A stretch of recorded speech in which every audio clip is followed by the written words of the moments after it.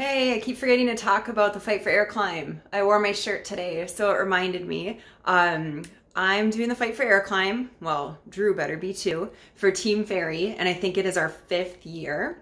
Um, so we are still fundraising for our team. So I'll put the link wherever this um, is going to be posted on social media, so you can support. Um, we're in a new year. So maybe you have a new employer match that you want to take advantage of or use part of it to support this worthwhile cause. So it's Fight for Air Climb because it is about raising awareness and raising, more importantly, funds that stay local here in Minnesota to understand more about lung disease. And this ranges from things like asthma in kids and in adults, all the way up to lung cancer and COPD, everything that has to do with lung health and lung disease. So maybe you'd like to join our team. Um, we have to run up or walk up 680 stairs, and that is 31 floors of the US Bank Plaza here in Minneapolis. So it's not that bad. Um, it usually takes me, I think, 12 minutes, maybe more. Drew does it a lot quicker. He's probably going to try to beat his time again.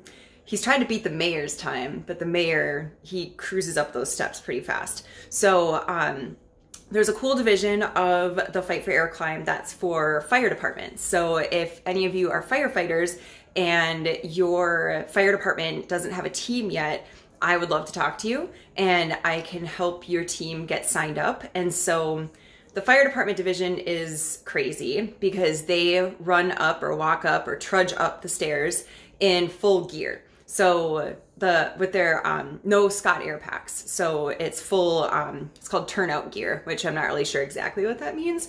But if you're a firefighter, you know what it means. So um, yeah, it's an awesome event. It's uh, it's really meaningful.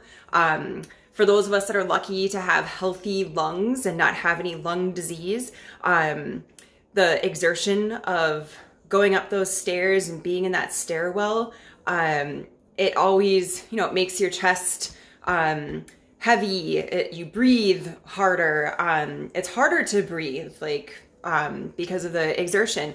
And so it really makes you think about what people go through that actually have um, lung disease, lung health issues, lung cancer. So it's always very meaningful, very emotional um, event. It's sometimes like I get caught up in the fundraising and in the like the excitement of the event and marketing it and trying to get people involved.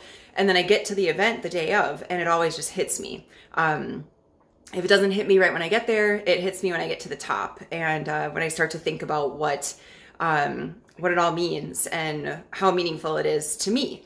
Um, so I invite you to either join my team if you're here local, join Team Ferri, or support us um, or start your own team, whether you're here locally or there's climbs that are happening all over the country. Um, Central Florida, Heather Earl, hey. Um, my safety friend, she has a team down there, and I think their event is coming up yet this month. So, um, but still, it's not too late. You can still sign up for these events. So, um, like I said, I hope you'll support my team, hope you'll join my team, um, or just send some good vibes for, for Drew to beat the mayor's time. So um, thanks for listening to this plea. I know it's a lot this time of year for different events and causes, but um, maybe you can find it in your giving heart to portion out a little bit of those funds to lung health and research for, for lung disease.